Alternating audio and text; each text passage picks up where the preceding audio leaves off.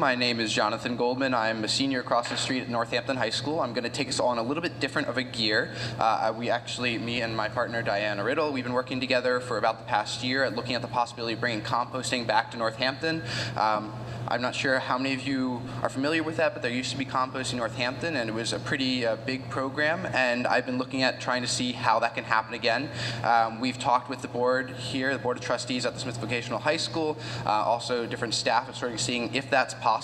Um, the land that we're looking at to actually have something like that happen is not where most people are walking. It's actually across uh, where people, where uh, Mr. Peterson talked about uh, possibly having grazing or leasing it out to other farmers, and we're proposing to try and find out a way to turn that into composting. Uh, we're a pretty relatively uh, big city uh, for our area, and there are also countless, countless restaurants that we have throughout Northampton. We have well over 100 uh, food-producing areas, and this would be beneficial to them.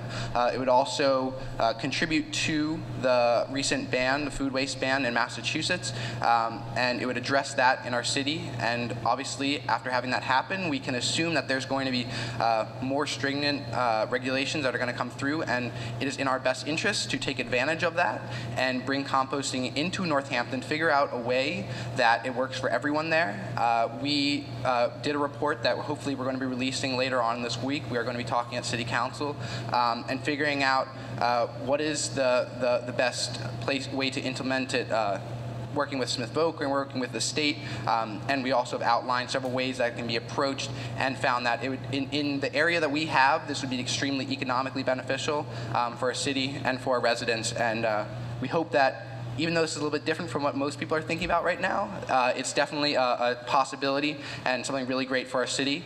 Uh, and we hope that everyone here can consider that and find maybe a way to work together to actually bring composting back to Northampton as well. Thank you.